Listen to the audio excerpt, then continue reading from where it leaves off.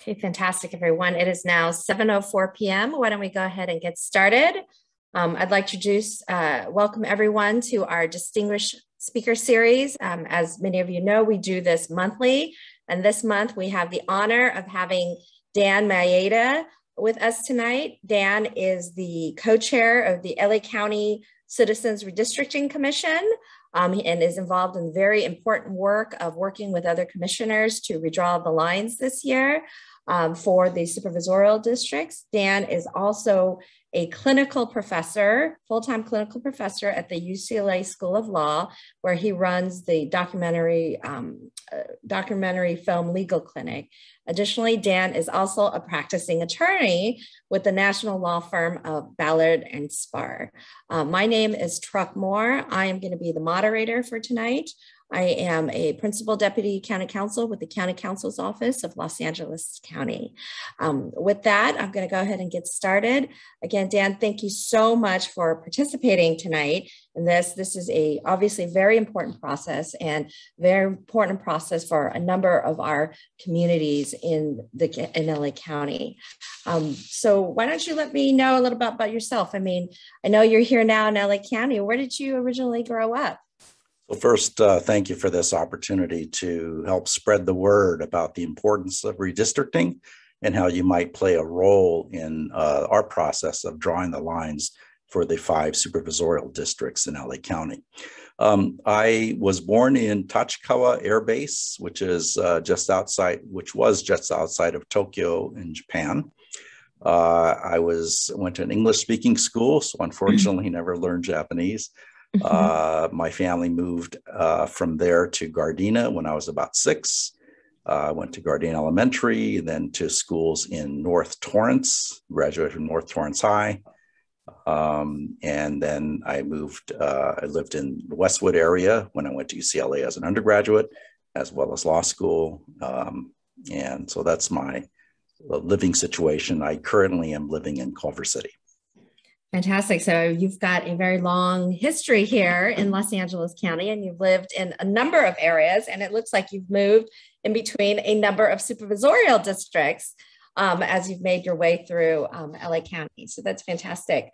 Um, now, I know you're a lawyer now. We don't have um, as many lawyers entering the profession as we'd like, and as many as on the bench. So I'm really curious, what what drew you into the law? Uh, well, I grew up in a traditional Japanese American family where the top profession was to be a doctor. Uh, if not a doctor, maybe a dentist. Uh, number three, my, my for my mom was an architect for some reason. I don't know why. For my dad, my dad was a CPA, uh, and so he thought I should get an MBA and uh, do business. Um, no lawyers. We didn't know any lawyers, so I never. That was never a thought in my mind. Um, but I went to UCLA as an undergraduate because I really was interested in media, and I figured I didn't know what I wanted to do, but there must be something there. It's big school, lots of majors. Um, and I thought for a, a, while that maybe I would get a psych degree and uh, become become a motivational researcher, try to figure out how to make people buy things that they didn't think they needed. uh, I thought that would be kind of cool. Um, but uh, one quarter I took uh, Psych uh, 10 and Com Studies, Communication Studies 10. And I hated the psych and I loved the com studies. And so I pursued that, became a com studies major. Um, and then in the course of that, I met some lawyers. I, I, had an internship with the ABC Department of Broadcast Standards and Practices. Um, and I asked folks, you know, if I want to get involved in this industry, what should I do? And many of them said, get a law degree. So I started looking more seriously into that. Uh, I eventually decided I wanted to do communications law, which is FCC related work uh, representing broadcasters and cable companies, people like that. Uh, which is only done in Washington, primarily done in Washington, D.C. So after law school, I moved to Washington and practiced communications law firm, uh, communications law there at a private firm for about three years. Um, but uh, the deal was when I, I, had gotten married and, and moved out there, my wife's from San Diego.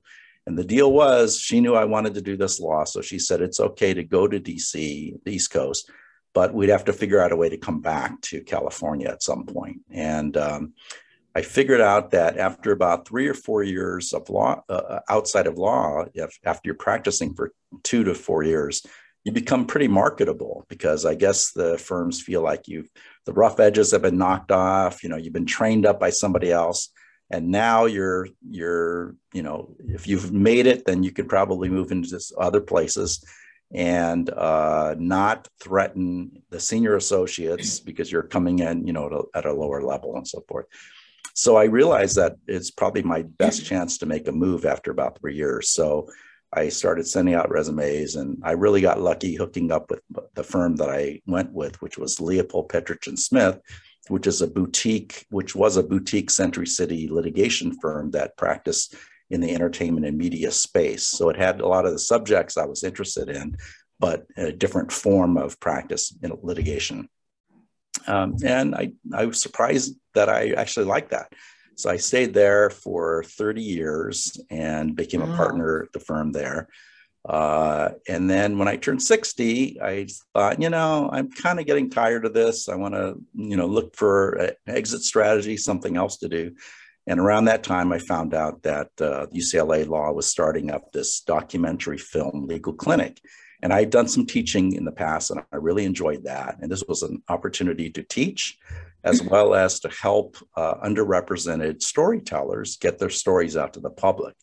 And I've always been very keen on uh, increasing opportunities and diversity and inclusion representation for people of color, particularly Asian Americans. Uh, and I saw this as sort of a natural extension of this, where I'd help filmmakers, um, you know, especially filmmakers that are underrepresented, uh, get their stories to the public. And so that's what we, we, what we've been doing, training second and third year law students to represent documentary filmmakers pro bono. Um, and it's I've been having a blast. It's really a lot of fun.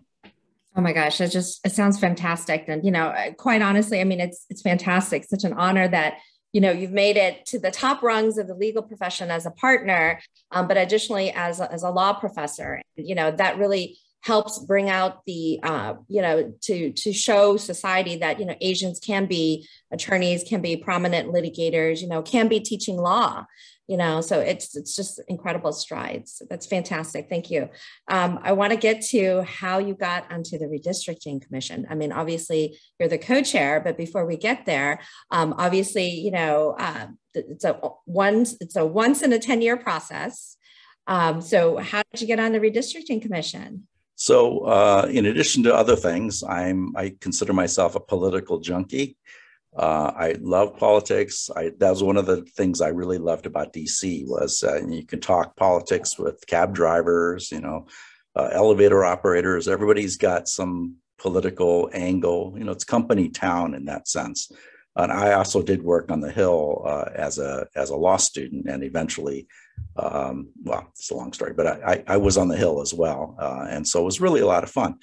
But I realized that uh, currently there's this giant move to suppress the vote, uh, redist- uh, gerrymandering uh, of districts. There's various ways in which uh, certain, you know, a certain political party is trying to uh, is opposed to democracy, basically, and is trying to do things to prevent people from actually electing the candidates of their choice. And um, so when the opportunity, uh, when, when, the possibility came up to join the California, the statewide redistricting commission, I submitted my application. And I don't know if anyone has done that application form, but it's it's uh, the most onerous application form I've ever filled out. Anyways, I pursued that and uh, I made it halfway through, but uh, eventually did not uh, succeed. Um, so I thought, okay, that well, that was that's it.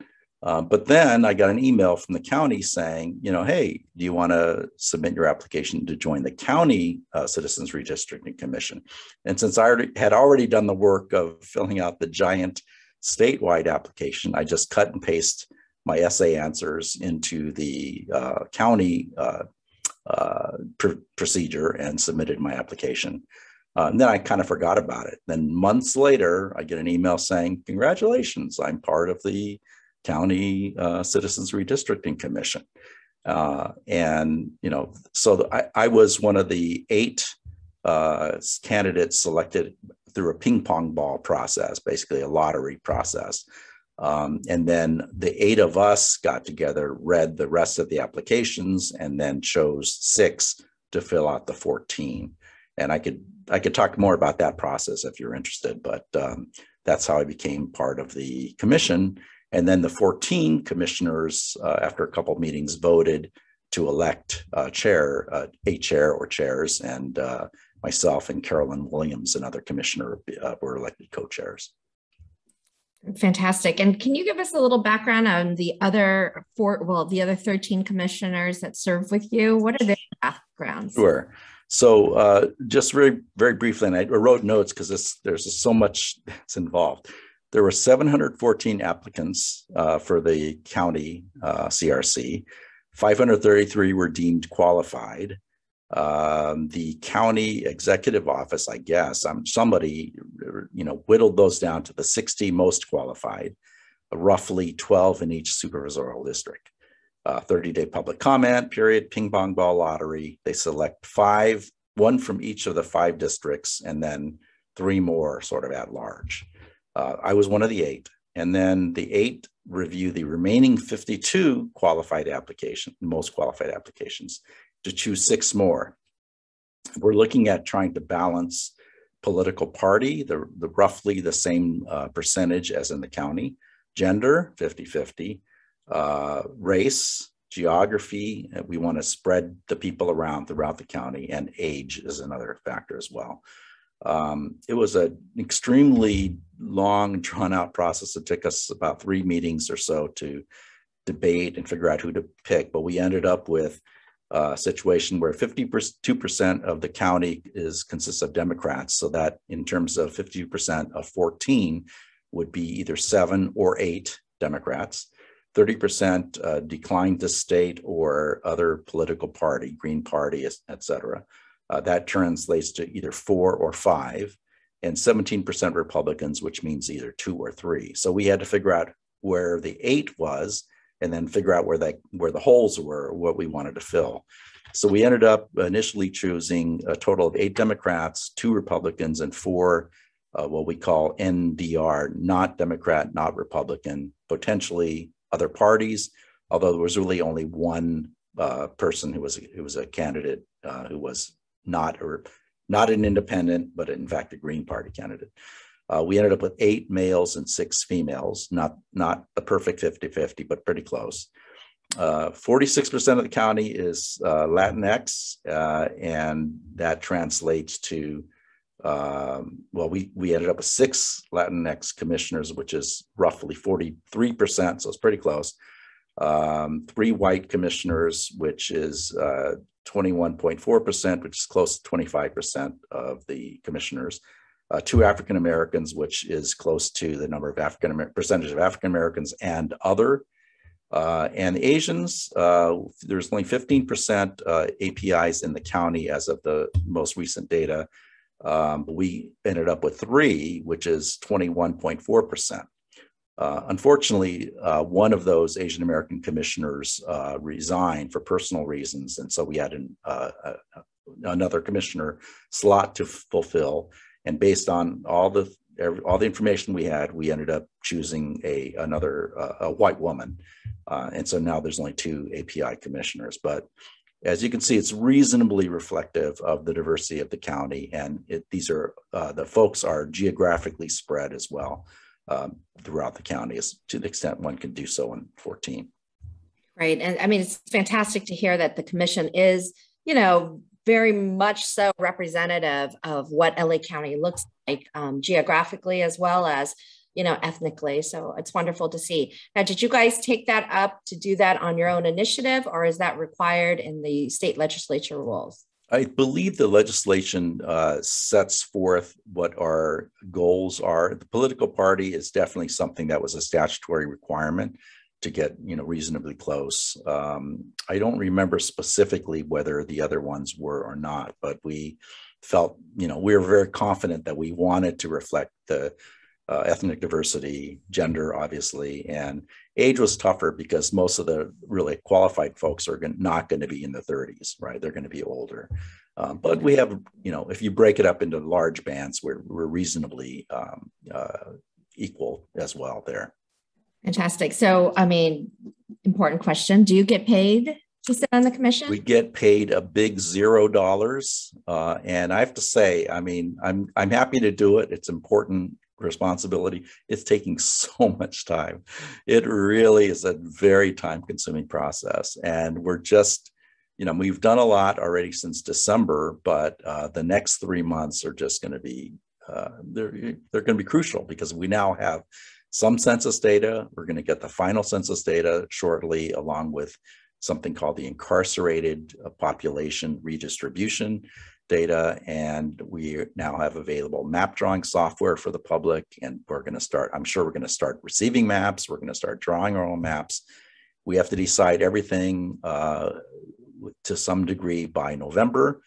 Put the maps out that we've chosen, uh, some potential maps, and have public hearings, more public hearings, and then choose, make the final choice by December 15th. That's our statutory deadline. Um, it was, we were supposed to have months and months with this data, the census data. But as you might know, it's, the census data has been delayed for months. And so our timeline is, is extremely crunched. Uh, last week, I testified before the uh, California legislature to try to plead for more time for us to get until January 14th, which is what the statewide CRC is asking the California Supreme Court for an extension of time. Uh, their process is different. That's not statutory right. in that way, the deadline at least. Um, and the legislature slapped us down and said, you know, those guys are drawing 100 districts. You're only drawing five. So thank you for your service, but go back and do your work, you know. So uh, it's December 15th. No, and and you know, I think it's important for you know the participants today, as well as for the members of the public, to understand that the entire commission is really working for free. Absolutely. So you're just seeing this as your civic duty um, to participate in this process because you really you're really not getting paid, and it is a lot of work, you know, and it does take a lot of time. Yep. And so with that, I'm sure a lot of us are you know, wondering, well, what's this redistricting process? And, you know, Dan, I'm going to turn that over to you. But before um, I do that, I did want to read um, into the record, um, you know, just some important ground rules for the rest of our um, important talk today, just so everyone's clear. Um, Dan is not able to um, take public input today. Um, the presentation that he's doing is designed to be educational and informative about the redistricting process. Um, he can absolutely answer your questions about the process, you know, and other questions related to the process that you may have. Um, but any input that you have today, any of one who's participating in our call today, um, whether you know you you've heard input from your family, from your friends, or have your own personal input, you know about how Dan and the um, CRC can draw the lines. He's not able to take those comments today. Um, it has to be shared with the full LA County um, CRC at one of their public hearings. And so he'll be talking about how you can share that important, important information and comments that you have, um, you know, um, that and how you can submit it so that you can get maximum, maximum impact. Um, so I just wanted everyone to know that. Um, and then with that being said, Dan, I'm gonna go ahead and turn it to you. Thank you, Truc, for that important disclaimer. Uh, I'm going to share my screen and I'll just uh, reiterate that uh, we are, I am not able to take uh, public input about where you think the lines should be drawn or what the, you think the various communities of interest are. And I'll explain that a little bit more in a, in a second. Uh, let's see, this is kind of hiding my tab here. No, that's not it. Okay. Um, so this is a very short presentation, uh, basics about redistricting. Um, I want to mainly talk to you about the uh, approach we're taking for redistricting this time. It's a new approach in LA County. Uh, in the past, uh, the County Board of Supervisors selected a their own committee called the Boundary uh, uh, Redistricting Committee, but it was an advisory only process, and, and Truc knows about this as well.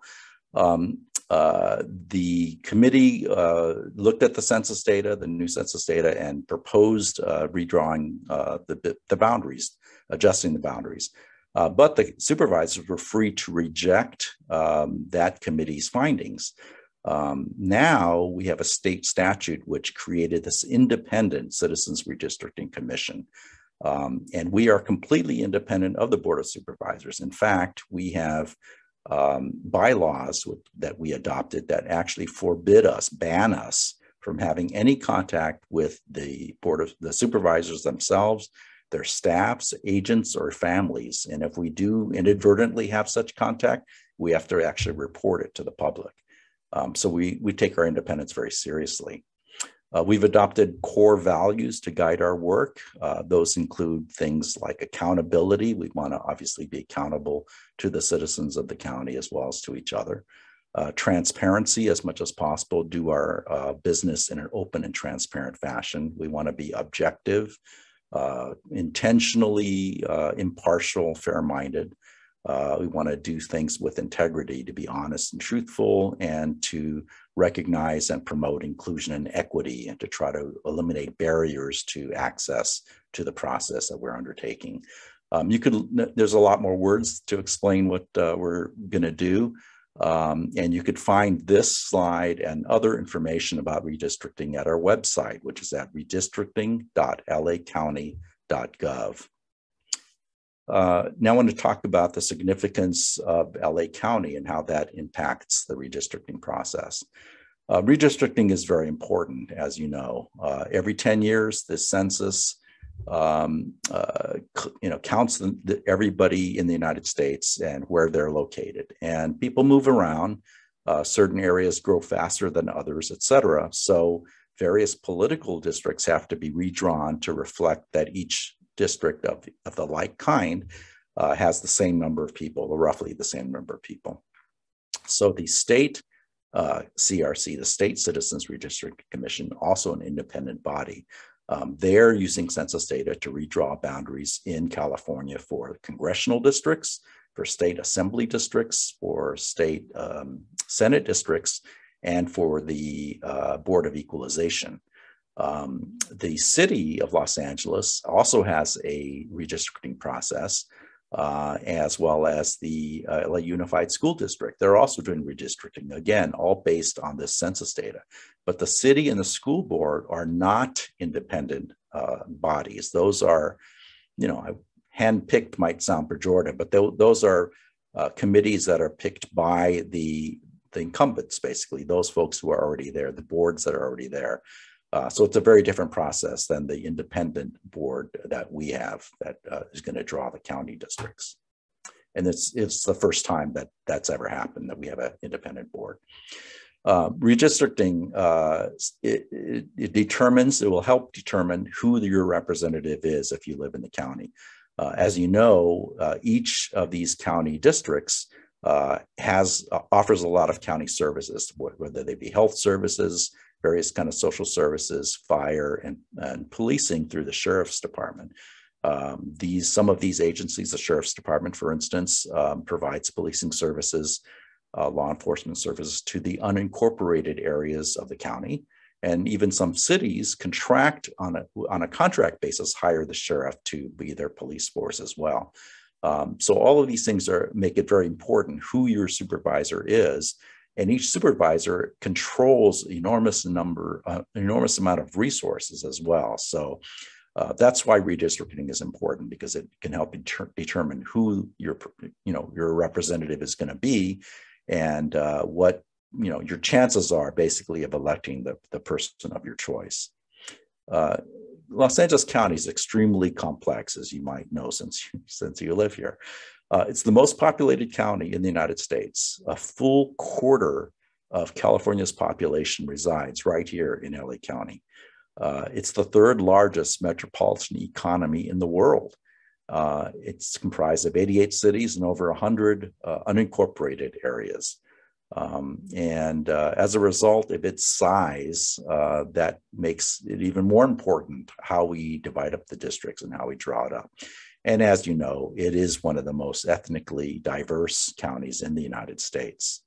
What you're seeing here is the current county supervisorial map. Uh, the areas in white are incorporated cities, and the areas in red or pink are um, unincorporated areas. Uh, you'll notice right away that just current District 5 is extremely large as compared to, say, District 2 in the, in the center or District 1. Um, and why is that? Uh, it's because each county has to have roughly the same, I'm, I'm, sorry, each district in the county has to have roughly the same number of people. Um, and that's going to be roughly 2 million people. And count uh, District 5 being more rural and more sparsely populated needs a lot more geography in order to add up to 2 million people as compared to District 2, which is very densely populated in the center of the city. And that's why the, the district uh, geography looks the way it does. We're not required to follow these lines. Obviously, we're in the process of redistricting. We're not even, we're not required to tinker with the lines. We can draw a completely different map if we want to, if the data uh, provides that, supports that, and if the testimony that we've received supports that as well. We can only draw five districts by law. We can't draw more than five or less than five. Uh, that would require a vote of the, uh, the population, the voters. Uh, just a brief overview about our criteria that we're using to do the redistricting. Uh, we have some statutory criteria that we have to follow um, based on the state statutes and the Constitution, uh, federal law as well. The number one uh, criteria in priority is to draw districts that are reasonably equal in total resident population with each other. We can take a variance of 10%, uh, give or take, between the lowest populated district that we draw and the most populated district, but that's our, our leeway that we have by law. Uh, two, we have to draw districts uh, in such a fashion that it complies with the Voting Rights Act. I'll explain a little bit more about that process in a second. Three, districts have to be geographically contiguous, meaning all parts of the district have to touch each other. Four, we are trying to maintain the geographic integrity of cities, communities of interest, and uh, local neighborhoods. Um, and I'll again explain that in a little bit more in a second and five, to the extent it doesn't conflict with one through four, uh, we have to try to make districts as geographically compact as possible. In addition to these criteria, we're not allowed uh, to favor incumbents or favor, favor or disfavor incumbents or favor or disfavor any political party or any political candidate. So that's uh, the task ahead of us. Um, as I said, we have to make sure that each district has to have a reasonably equal population. We, we know that the census data says that the county is roughly 10 million uh, people, so each district has to have roughly 2 million people. Uh, we have to give, we have to make sure we're giving racial and ethnic groups a fair shot according to the Voting Rights Act. What does that mean? Here's a very simplified example, but I think it may, may help illustrate the point. Here we have uh, a, let's say a county as an example of, um, there are 16 figures there in the county and four of them are represented to be minorities. Um, you'll see that if you divide the county, uh, if this is a county, divided into four districts, uh, each of those districts has roughly the same number of people, right? Four uh, symbols representing them. But the way this is drawn, it's the minorities are only one quarter of each of those districts. Uh, when you if you draw the lines that way, then the minorities, assuming they all vote uh, or they tend to vote in a certain way, uh, they're not going to be able to elect the candidate of their choice. So the Voting Rights Act provides that where there can be drawn a majority minority district, if the minority group is geographically compact, politically cohesive, meaning they tend to vote the same in the same fashion, uh, and large enough to be a majority within a district that can be drawn, then we may be required to draw such a district. And in this case, in this simplified example, and if things were only this simple, it'd be, it'd be so much nicer. But uh, this is a, an example, but you see that you can draw a, this, county, a district in the center of the county that is going to be comprised of about three quarters minorities uh, and the other districts have the same number of people, Uh, but uh, the district in the center will, in fact, have a majority minority district be able to elect the candidate of their choice. And that may be, in fact, required by the Voting Rights Act. Um, third, we have to make sure that our, all parts of the district are connected to each other. You see the example on the right side uh, where you have a piece of a district that's separated completely from the rest of the district, that would not work. That would not be a proper map. Um, fourth, we have to preserve, or we're trying to preserve, the geographic integrity of cities, neighborhoods, and communities of interest. What is a community of interest? It could be a city boundary, could be a neighborhood, but it also could be uh, an area such as, uh, let's say you have a city that uh, does land use planning or regional transportation planning with neighboring cities.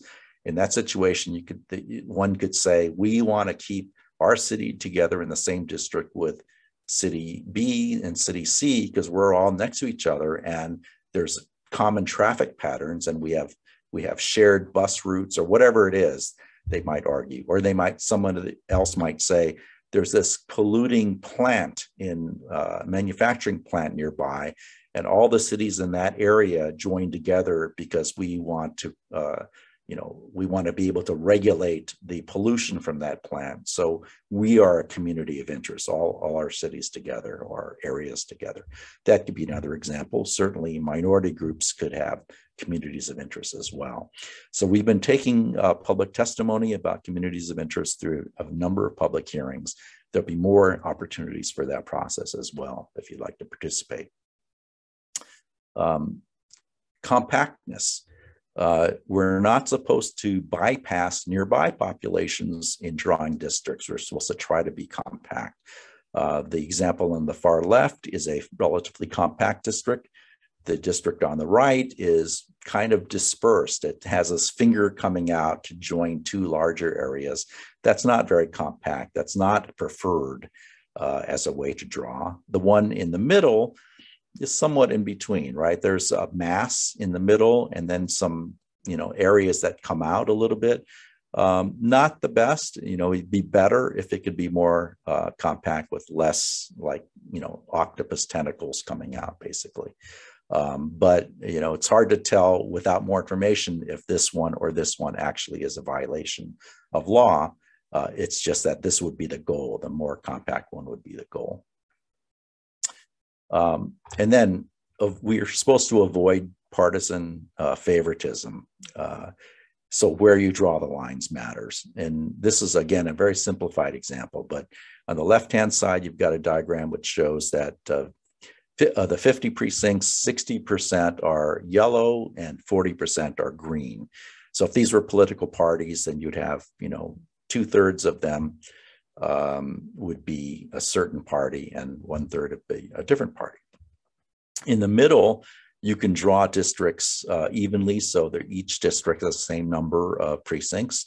Uh, but you can draw it in such a way so that yellow would win most of the time or you know all the time because they would outnumber the greens uh, on the right side, uh, let's say the Greens were in control of the process, they could draw these boundaries and they create districts where green would win three three times and yellow would win twice. That seems unfair because uh, in terms of the population, green is really outnumbered, but that would be a way to gerrymander the districts or draw the districts in such a way as to purposely cause greens to win. Um, there's other ways to draw it. Obviously, you could draw it uh, at the, the, diagram in the middle here. Uh, it'd be an odd linear uh, district, but you could do it so that you know three quarter or two thirds of the district uh, are yellow and one third is green. You could draw it differently so it'd have the same kind of um, uh, result. Again, these are super simplified uh, districts. We're never going to have something as clean as this but it shows you in general how one can manipulate the process to favor a political party. We're not supposed to do that. We're not supposed to favor or disfavor a party. So, how can you get involved in, in the district redistricting process? We we have a number of uh, public hearings. We've already had several. There's a couple more coming up, which I'll talk about. Um, we've just uh, released free mapping software very, very powerful software you can uh, download, or it's actually it's an online process you can access. We're, we're going to have training sessions, and it's actually kind of fun to play around with. If you, have any interest in mapping or maps in general, or if you just want to see for yourself, what would it be like to create certain kinds of districts? And, and just, you know, perhaps you'll come up with a great idea we hadn't thought of, and you could submit that map for our input. Um, so there's opportunities to, to get involved. And again, more information is at our website, redistricting.lacounty.gov. If you provide your email address to that website, you'll be getting a slew of email uh, that will come about all the, the things that are happening, public hearings. I'm in my campus office and it has an automatic uh, thing that light that turns off. So I might have to wave occasionally to get that uh, light to come on. Um, but you'll be able to participate, uh, learn more about what you can do to participate by uh, going to the website. So I encourage you to do that. Uh, two more public hearings. Uh, they're going to be hybrid, meaning uh, we'll be some of us will be there in person, but we'll you can also participate virtually, and you don't have to be uh, part of these communities to participate and about about any. You can provide us input about any community. The next one is September 22nd in the San Fernando Library uh, in the city of San Fernando. And then um, the next one after that, September 29th, in a uh, county library in Bellflower. Uh, we deliberately chose those two locations because, and we have been spreading out our our public hearings in various areas, but we wanted to choose locations where potentially there were people who might not have as much access to technology so they can actually show up in person to provide input. Uh, again, information like this is at our website. We have toolkits. If you really are interested in helping us spread the word, uh, we have toolkits in 12 different languages. Uh, so you can recruit folks to get involved. Uh, again, signing up at the website. Uh, if you show up to a public hearing, please wear your mask. Uh, here's the list of our commissioners, chair and co-chair uh, Carolyn Williams, African American, uh, as is Commissioner Gene Franklin. Um, and you could see various other, uh, we have Latino, uh, Latin, Latinx commissioners. Uh, Doreena Wong is another uh, commissioner. here's the chart of the LA County staff. we have an executive director, independent legal counsel, et cetera.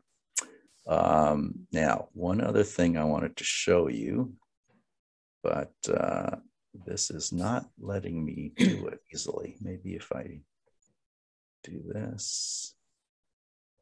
Oh, here we go. Um, here's the free public uh, uh, workshop on how to use the free software, redistricting software, Thursday, September 9th, a week from tomorrow, 11 o'clock. Uh, you can go, this is uh, on our website, you can find it, but uh, there's information about how you can join a workshop, a seminar to learn how to use this software. Again, it's super uh, powerful, comprehensive. You can put all kinds of filters in to find ethnicity, cities, uh, every other criteria you can think of. But um, uh, if you do have ideas, uh, you think you you want to see a district in a certain way, or you want certain areas to be together, uh, and you want to provide that input to us, I encourage you to do so. I think um, I think what you will find is it's really a difficult job. You can have a great idea about doing something in a certain area, a certain district, uh, but the problem is, is that you're not done once you create a district of 2 million, right? You have to figure out what do the other districts look like. We can't just have, we're not done if we submit one district. We have to actually draw all five. And sometimes putting stuff in a certain district or taking things away from a district dramatically changes everything else, the ethnic, you know, makeup, uh, whatever it is that might might be. Um, and it's um, so it, it, will be fun if you like that kind of thing. And certainly, we would encourage uh, any great ideas from the public as individuals or as organizations. I know various organizations. Um, Asian Americans Advancing Justice Los Angeles. Uh, there's various Latino organizations. There's others who are very interested in this process and will be providing uh, maps to us for our consideration. So fantastic. Yeah, I and I had heard from um, a friend today who had actually fiddled with the software program and you know it's a lot it's a incredible but you know very big tool and you're correct i mean you're where you draw one um, district you're going to have to balance out the others. And that was always the case even 10 years ago and you know every 10 year before that. You know now you know thank you for the presentation. I, I had a question for you. You know i see that there's 14 commissioners.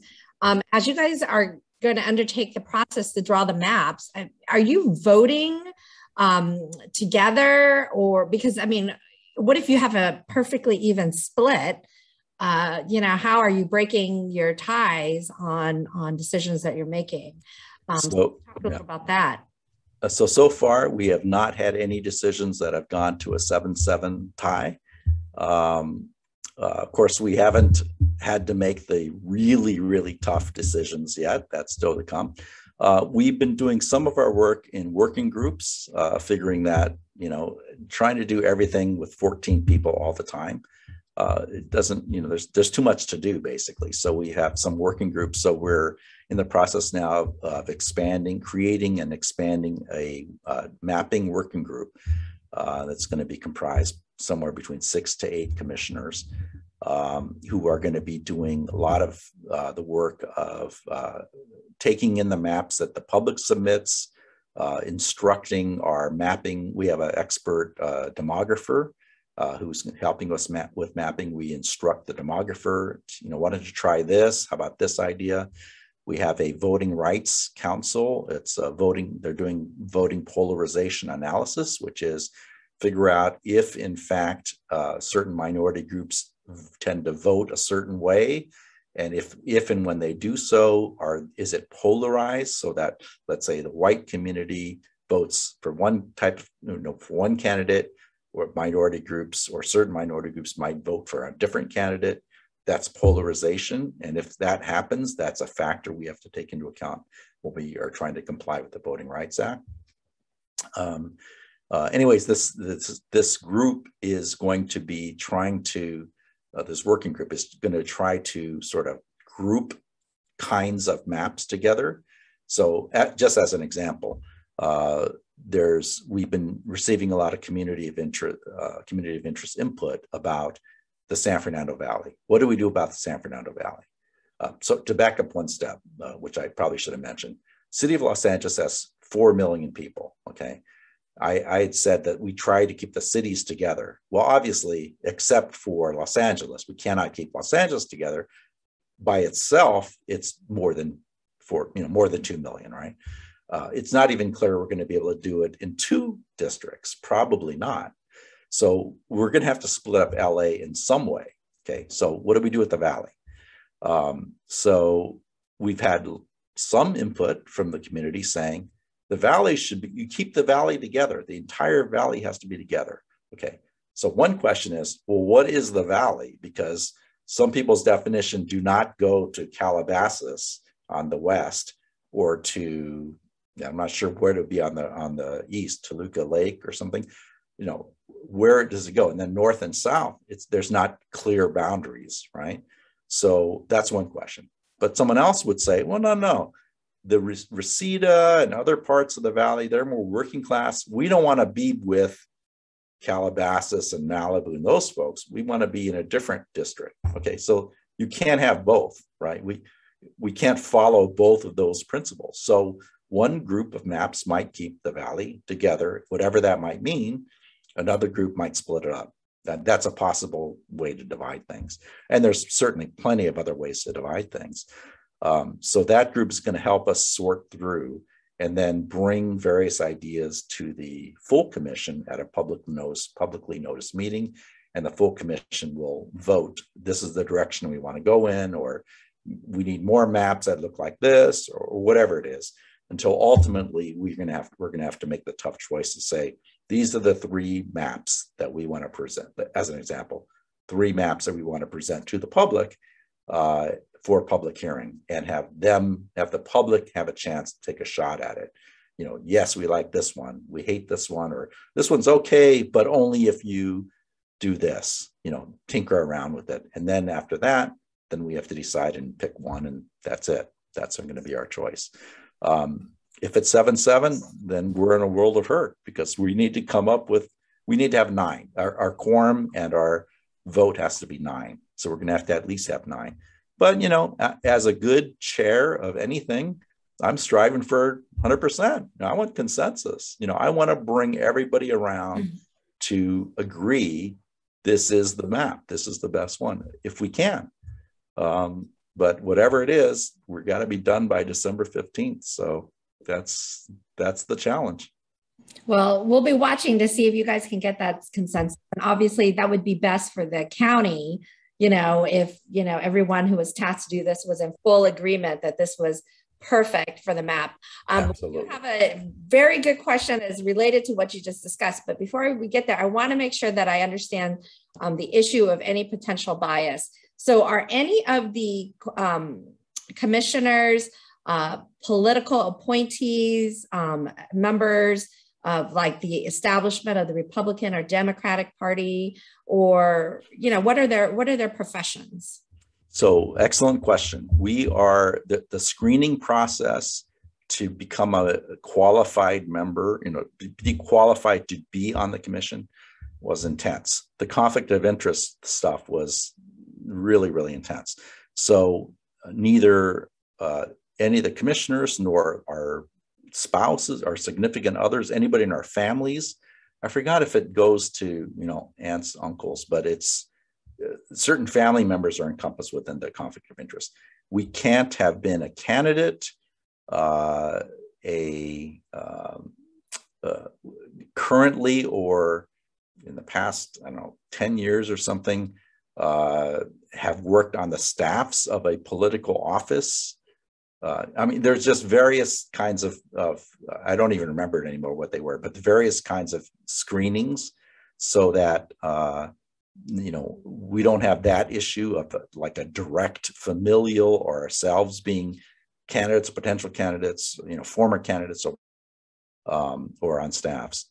Um, uh, but uh, you know many of us are political people. We we love politics you know we like politics. That's why we're we're doing what we're doing. Uh, they can't they didn't you know did not uh, and it wouldn't be advised i don't think to screen out anyone who was inter- interested in politics because then there's not going to be any commitment to doing the hard work because this is this is a lot of work. Um, but nobody is uh, so far that i've been able to that i've seen uh, nobody is uh, you know everybody's listening, everybody's open minded, everybody's thinking about these issues, and we're, we get along pretty well so far. Fantastic. Okay, so here's a very big and important related question. I mean, you had discussed that you know once you you know publish some draft maps, you're going to put it out for public comment, and then you're going to vote and eventually pick a map. So. Right. What happens after the final map is adopted by the CR and people are unhappy? Um, let's see if it's you know an individual if it's an organization or maybe even a board supervisor right? Um, what's are they allowed to challenge the crc and you know what's what's that process um, of challenging? Can they file a lawsuit? Um, do they sue you? Oh do they sue the crc do they sue the state? Do they sue the board of supervisors I mean, what is what does that look like if people are ultimately unhappy and believe that they have been disenfranchised in some way? Okay, good question. So, uh, will people be unhappy with what we do? Guaranteed, people will be unhappy because you cannot make everybody happy. There's not a possible way. If we had, you know, if we could draw 30 districts you know, maybe we can get a little closer to making people happy because we could do a lot of different things. But we can't. We can only draw five. Uh, so we are going to make some people unhappy. I, ideally, we're going to make most of the people happy, or at, at a minimum, make people feel like they were heard, that we considered what they had and what their their ideas were. Uh, we seriously evaluated their maps if they submitted them, et cetera. Uh, okay, so we're done. We do the maps. Someone is unhappy. What can they do? So you can you can file a lawsuit, you know, to try to overturn the map. Okay, it, that is possible to do. Uh, number of questions. One is standing. Um, you know, I don't want to go into what whether they might have standing or not, might not have standing. Maybe that's not a big big issue if you're a resident or voter in the county. Um, but what are the grounds? Now, most lawyer, lawyers would tell you the easy ground, if they're, you know, the easiest ground, easier ground, I guess, uh, would be if there's a procedural deficiency, the, the procedural defect. The statute says we have to hold a certain number of public hearings. The statute says uh, once we have the maps, we have to have a minimum of two public hearings 30 days apart. Um, what if we don't do that? What if we only have one public hearing? Then that's easy. Then you file a lawsuit. You didn't have the, you know, two public hearings as required by law. This map is no good. That's easy. Of course, we're going to follow the law, right? That's not, we're not going to give you an easy way out that way. We're going to be in compliance with the statute. Uh, but if there was some arguable defect, that would be, you know, one of the grounds. What about if you don't think that these two communities should have been together, or they sh- you they're not together and they should have been together, or you know something like that? Good luck. I mean, that is that's going to be a very tough challenge, I would think. Um, what about a Voting Rights Act challenge? You know, somebody says, and maybe it's a it's a interest group says, we think you should have drawn a district to allow my community to be the majority and to you know so we could have elected the person of our choice. That's the basis for the for the um, lawsuit. Okay then that you know there there are voting rights challenges to maps you know every time that this kind of thing is done. Um, there's procedures for that and you and you pursue it. We're to have we have independent legal counsel we have voting uh, polarization analysis consultants we have experts on our side we're confident. I, am confident that whatever map we draw is going to withstand challenge, but someone might disagree and challenge, and that that's their right to, to, to try that. Finally, I, as I understand it, there is a possible referendum that the people, enough people, can uh, mount, uh, gathering a lot of signatures in a short period of time to try to overturn the map. That really tough, really, really tough to get that many signatures to, to do that. But that's another thing you can do. But there's no way that the Board of Supervisors can disagree, adopt a different map or whatever. We're independent. We decide they have to live with it pretty much. Fantastic. And it just so I'm clear then, it sounds like then the really where we want to make the most impact, any or community group or you know neighborhoods or communities um, we really want to make the impact right now during the public comment process. That this is the time. Okay fantastic. So let me ask you this uh, can you give us an idea or examples of the type of comments that you've been receiving this far as part of the public process? Sure. So I, I mentioned one uh, or, or two sets of comments uh, about the valley, right? Keep the valley together. No, no, no, split up the valley in a certain way. That's that's an example. Um, we we heard some comments with really interesting comments uh, in the San uh, in the Antelope Valley. We had a public hearing in in live uh, live public hearing in uh, Lancaster, and uh, you know quite a drive to get out out there. But they were really very excited because people don't go visit them, right? And in the county, and we went out there. Uh, a number of commissioners went out there to meet with them to have a public hearing, and most people who talk about communities of interest say, "This is my community, and I want to belong." I want to be in the same district as these neighboring areas. Uh, and in fact, uh, in Santa Clarita, for instance, they said, we want to be part of the North County districts. That's make sure that you include the North County people with us. We have regional interests in common, et cetera. Okay, fine. Some of these uh, Lancaster folks were saying the we don't we don't think it's right that we all are in one district and we have that means we have one supervisor and every time she goes to advocate for us, she only has one vote. And so, as an example, it's very interesting. They said, uh, she said, we need more money for snowplows. And the response by some of the other members was, LA County, we don't need snowplows. And they're like, you don't have any idea what North County is like. We need snowplows in North County, right? And so they they said, don't divide it up north south, divide it up, you know, vertically, so that there's slices of North County in various members districts. Some of you even said in every members district. Okay, you can't do both. You could you could try that. I don't know what the map would look like. You could try it, um, but you can't do that and also keep the North County communities together, like other people said. So one way or the other, somebody's going to be unhappy, right? Whichever whatever way we do it. So that's kind of interesting. Um, but you know, there there we've received all kinds of public comment, and we are, uh, you know, cap we've captured all of that again, fully transparent. It's all on our website. Uh, you can go to the website, add your own if you want, you know, review what everybody else said. Uh, but we're going to be incorporating all of those things into various maps for our consideration.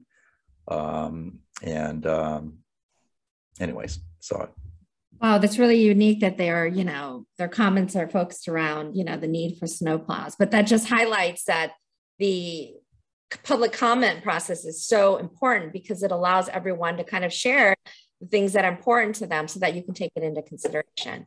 Um, now we have a question from a member asking, um, you know, for the communities and groups that, you know, want to um, opine or weigh in on being in the same district. I mean, what is the best way for them to get effectively to the CRC?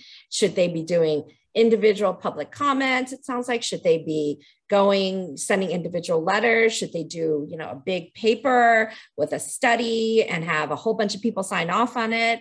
I mean what's what's the the way to do this to make the best impact with the crc so we are accepting uh, public input in every way that one could give us public input uh, certainly, you can go to a public hearing either in person or hybrid, you know, online, and tell us what, what's on your mind. You can submit, you can fill out a comment card. We have electronic comment cards or, or physical comment cards if you show up in person uh, and write it out. If you don't want to talk, you can just write it out and submit it. Um, you can go online and submit on, on our, at our website you can submit maps. You can use the, the drawing tools or, or not. You don't even have to use the drawing tools. You could just tell us or get yourself a map and just you know pencil it out even if it's not exact the, with the general ideas behind what you feel the community should look like the map should look like. Um, you could uh, hook up with an organization that is already studying these issues like such as asian americans advancing justice. So ver- various of the every meeting that we have uh, as a commission is publicly noticed, compliance with the Brown Act, uh, you know, more than 70, 72 hours at a minimum ahead of time. Uh, our agendas are all posted, our PowerPoint with all the, you know, backup data, reports, et cetera. It's all available online. All of our past meetings are recorded. You can go watch, um, you know, the, the meetings, the procedures. Um, but anyways, I, I, mentioned that because I, to say that several interest groups have been attending our meetings regularly since January, basically. And Asian Americans Advancing Justice is one of those groups that has been regularly attending, not every single time, but many meetings. Um, and I know they're planning to, uh, if not draw, they're probably planning to draw maps, but if not, then at least uh, they have been providing uh, avenues for people to submit their their comments. And definitely various latino groups have been doing the same thing organizing their community to submit comment individual public comments showing up to the public hearings and so forth. Uh, we we did have one innovation that's never been done before in the county is to have a spanish language work uh, public hearing. An entirely uh, in Spanish, although we had translators into English for those non-Spanish speakers like me. Mm-hmm. Um, uh, but that's never that's never been done in the county, uh, as far as we know. And so uh, that's an innovation. We'll probably do another Spanish language public hearing once we have the final maps uh, to look at. Um, so there are many different ways. You do not have to do a white paper or you know a comprehensive study of anything. You just have an opinion. That's fine. We'll take that and we'll incorporate that into the extent we can.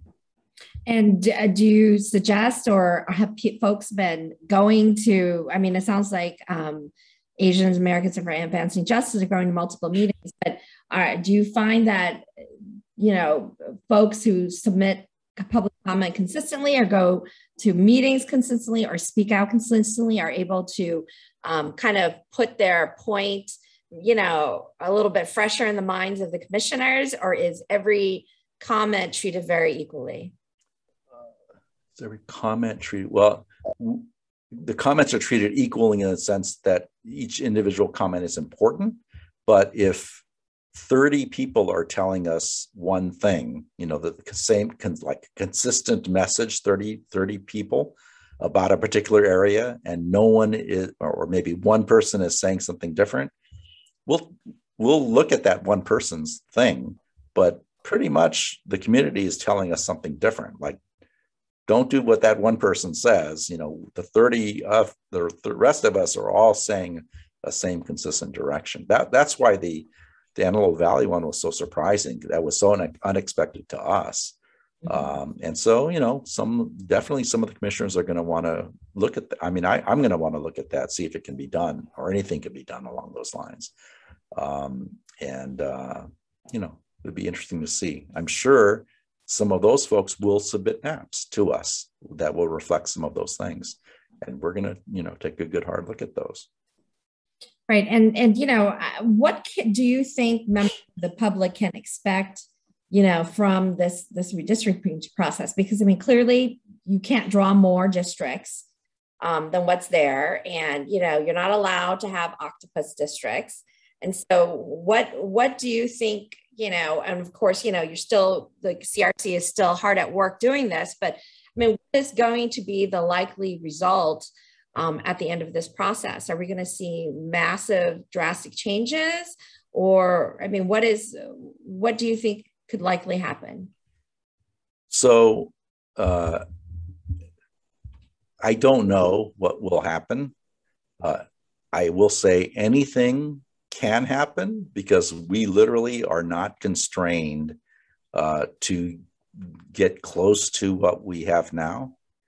On the other hand, it, does it i'm sure that we will want to consider a map that doesn't do drastic changes i mean you know that that it's not it's not as if these maps that we currently have are so ridiculous that no one would ever want to replicate something like that right no i don't know that maybe someone would say that but um, uh, you know, one possibility is to tinker around the edges. I suppose that's that's quite possible. I don't know. No one has proposed it yet, but it's possible. Um, there are going to be some tough, interesting choices about where to, you know, the valley is, and it's now where where's that going? Where's the split going to be with that? Long Beach. Do we keep Long Beach together, or do we divide it? That's a big city.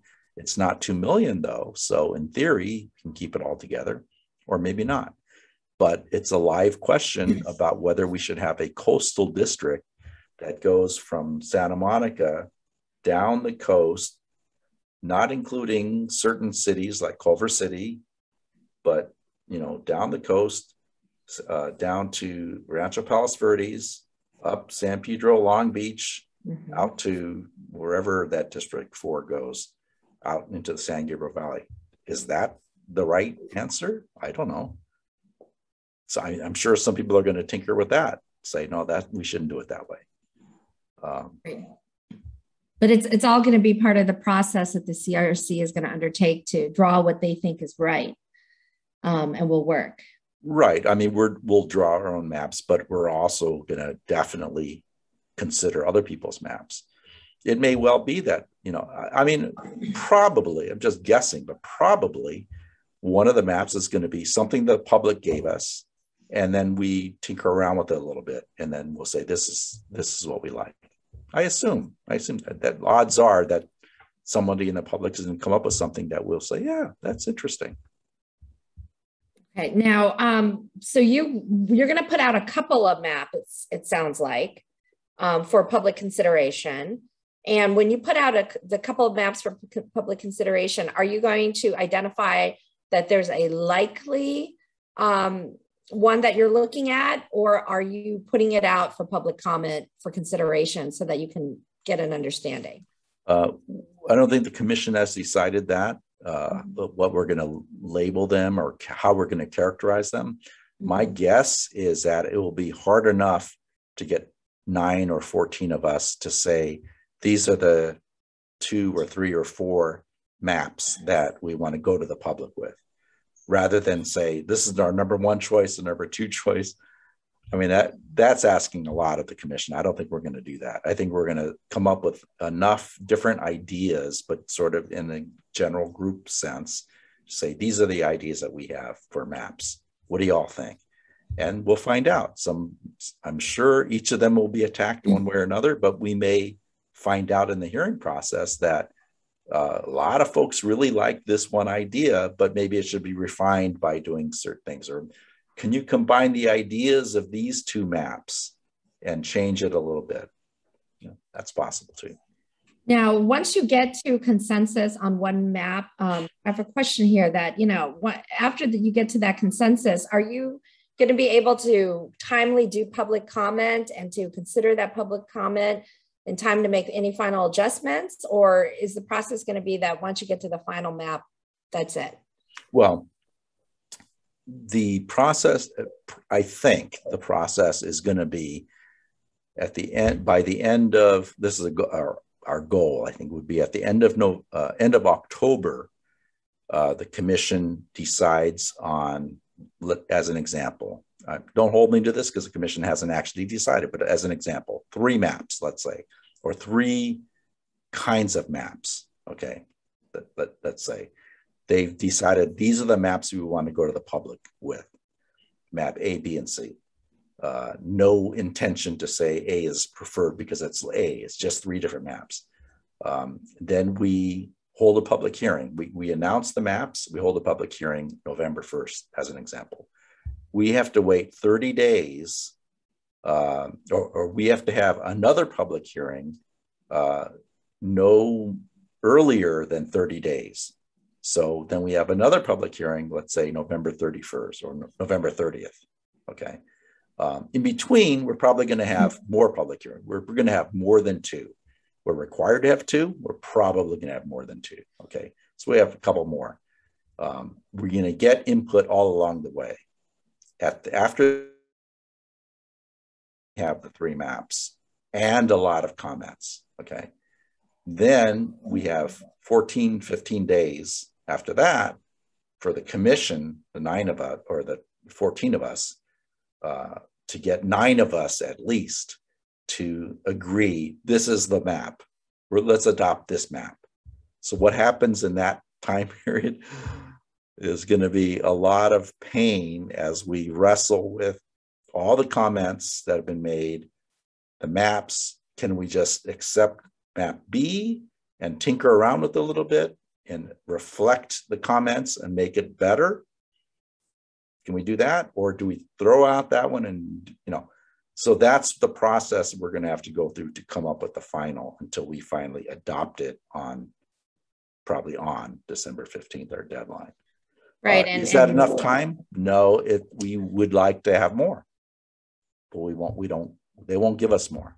So, yeah. And, and I recognize that. I mean, you've got, you know, the winter holiday coming up, and then you've got the Thanksgiving holiday in between your critical deadlines, you know, and so it's, it's tough, you know, so, you know, to all the folks out there who are listening and want to submit public comment, don't be dissuaded by the Thanksgiving holiday. Please fully, fully participate and get your comments into the the CRC because you know clearly it's it's very so. so I, I want to make it clear. So right now, you can give us uh, community of interest comments.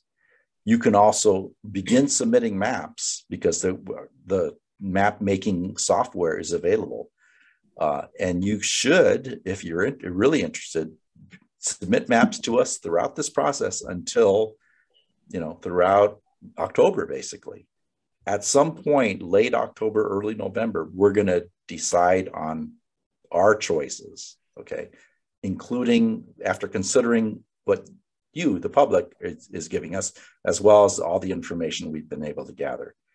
Then when we release the maps, then you'll want to scrutinize those maps that we've said are the ones we're considering and tell us that you like one of them, that you dislike others, that you like this one okay, but it needs to be changed. You know, tell us whatever input you can have.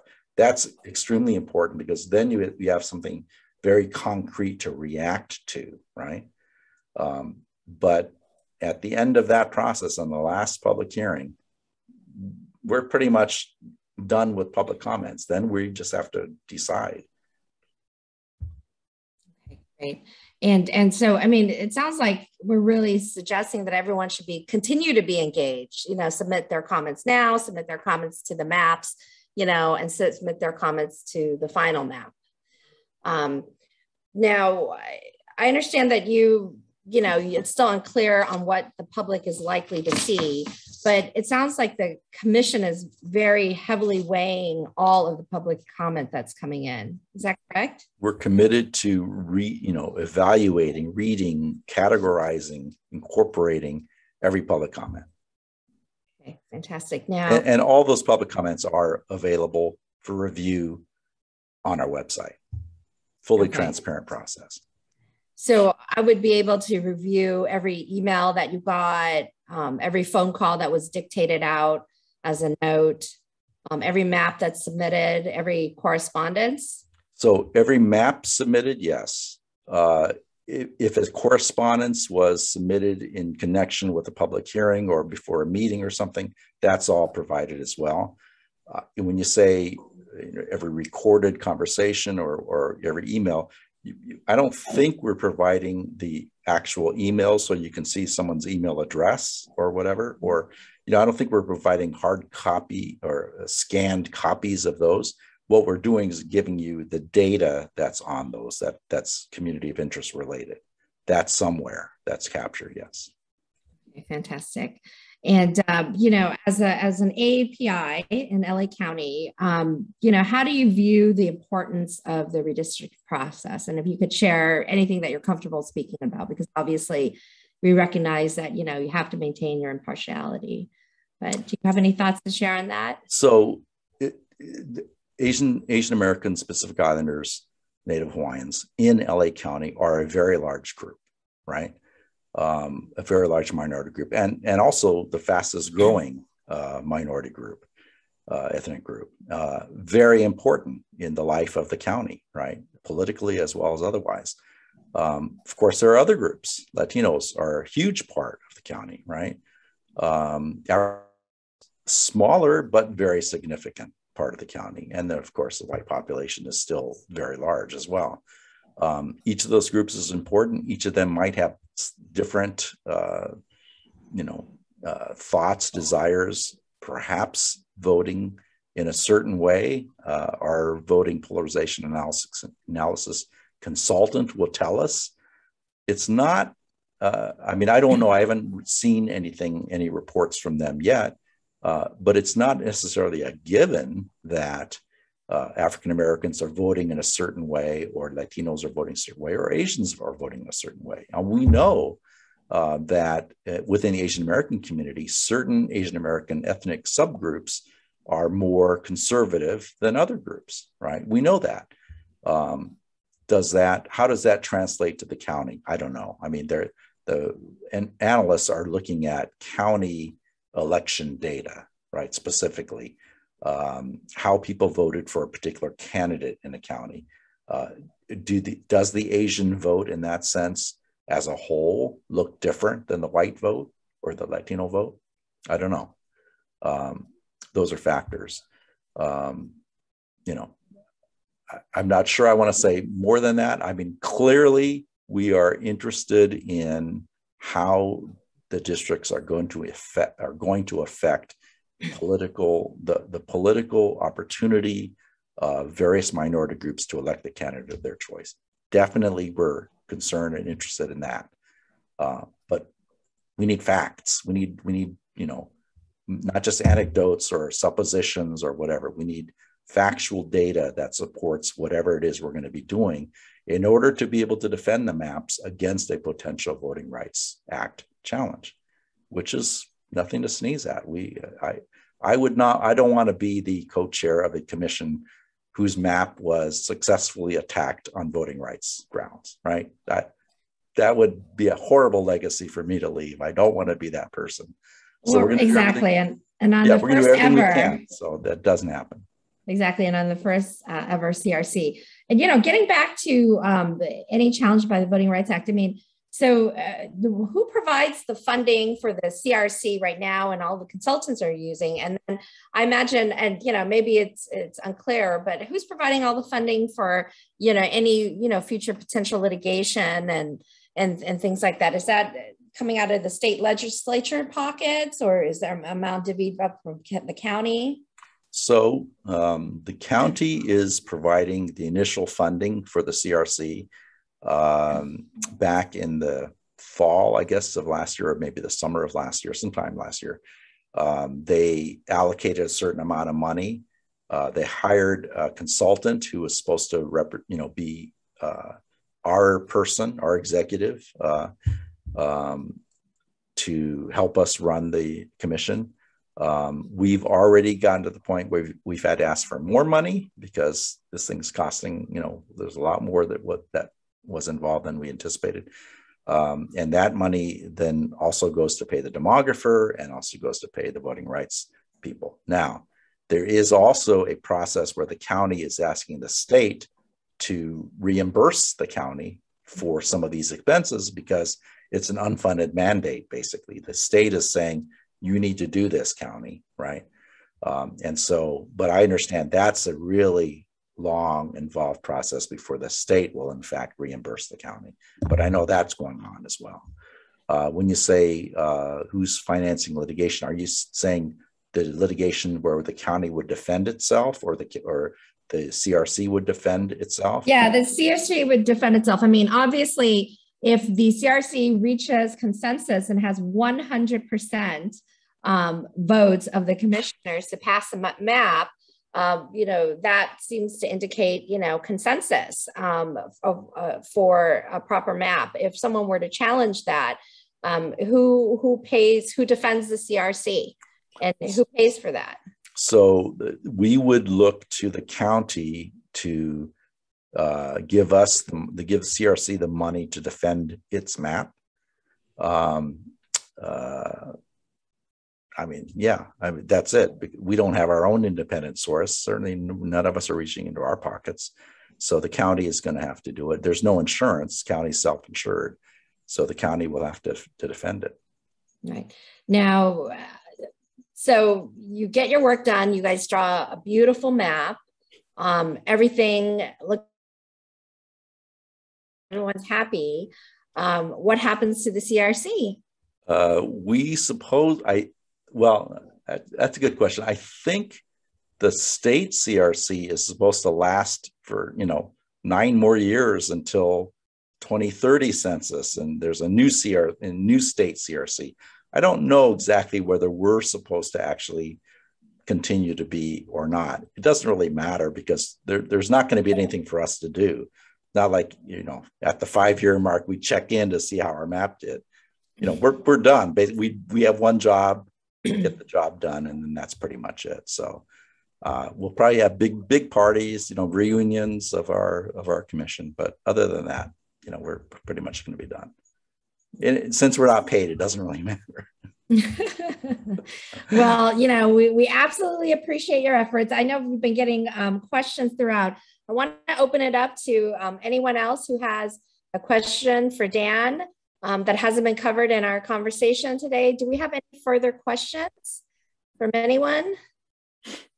Checking our chat here. Okay, I don't see anything. Well, you know, we are almost at the end of our 8.30 allotted time. Um, I really enjoyed this because I did get to see how this was done 10 years ago. And, you know, I'm getting to see it now. And it's, you know, it's just really amazing to see. It is a different process. And, you know, we appreciate, Dan, you being able to come and speak to us tonight. I know there's a lot of interested groups and a, a lot of interested folks who are trying to maximize the impact of any public comment that they'll be submitting um, to the CRC. And so it was just really important for people to understand what the process will look like, what your job is, what the CRC's job is, you know, and so I really want to thank you for, for coming today and speaking to us on that. It was wonderful. So I really appreciate that. Do you have any last thoughts for anyone? So just want to thank you, Truc, for the interesting conversation and thank the LA County Asian American Employees Association for your interest in this. Um, I hope I've conveyed to some extent that this is a process that you can provide meaningful input, and I hope you will do it. I hope you'll take advantage of that. Uh, we'd love to see if there's some really interesting, great maps uh, that you want to provide. That would be that'd be great to do. Uh, if nothing else, just to be aware that there is a process going on to make a good faith effort to draw districts that are going to be uh, the most fair and most uh, uh, provide the most mm-hmm. opportunity for folks to feel like they're being heard and uh, selecting the representative of their choice. Um, and if we could do that, then that would be something we would be very pleased with. Great. Fantastic. Thank you so much. And thank you everyone for participating in our monthly Distinguished Speaker Series. Um, we'll be back at this again next month. And then yeah. so much again.